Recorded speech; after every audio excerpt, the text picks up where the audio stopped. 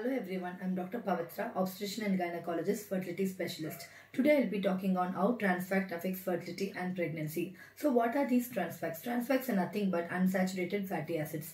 Trans fat causes central obesity, hypertension, type 2 diabetes and coronary artery disease. Trans fat reduces HDL cholesterol and it increases LDL cholesterol.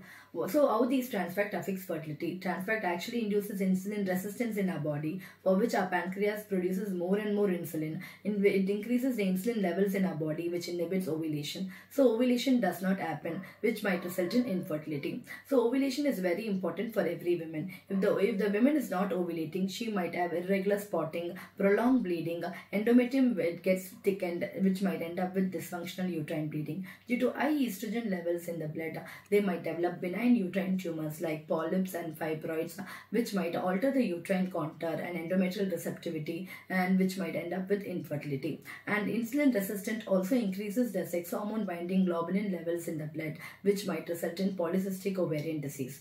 Polycystic ovarian disease is the most commonest cause for female factor infertility. So before even planning for a pregnancy or going for a fertility evaluation, both the couples should have a normal BMI between 18 to 24 before even you know, proceeding for a fertility treatment.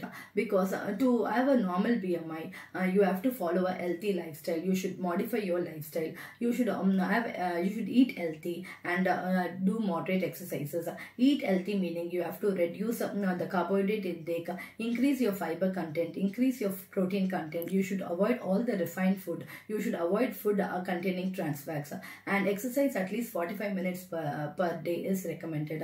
So according to the recent studies said that women who consume low glycemic intake diet, diet rich in fiber, the risk of developing infertility is reduced to 92% compared to women who consume refined foods, foods with trans fat. So it is clearly understood that if we follow healthy lifestyle, eat good food, the, the we can prevent complications of pregnancy and avoid infertility. So kindly do avoid trans fat, food containing trans fat and refined foods. Thank you.